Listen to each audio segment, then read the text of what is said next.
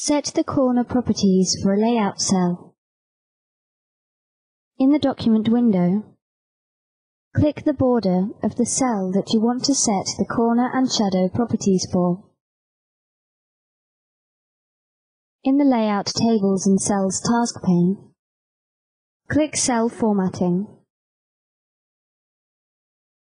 Click Cell Corners and Shadows. Under Corners, do one or more of the following.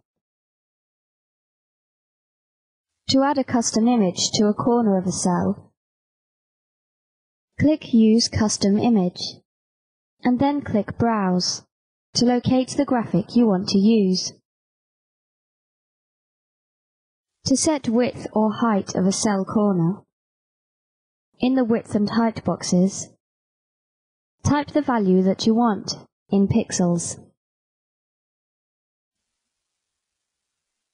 To add color to a cell corner, click a color from the color list.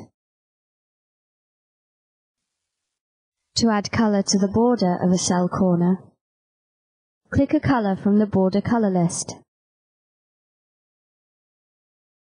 To apply a corner to the top, bottom, or both top and bottom sides of a cell, under Apply, click the options that you want.